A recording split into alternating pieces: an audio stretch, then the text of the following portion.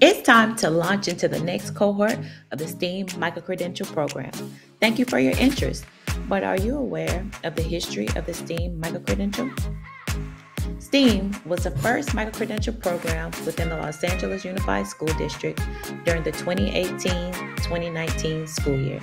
This program was created in response to the demands from our schools and communities.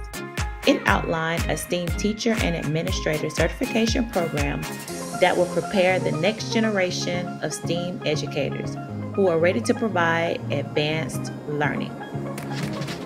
Teachers and administrators that participate in the STEAM microcredential are empowered to meet the unique needs of their students, and by doing so, student achievement will increase.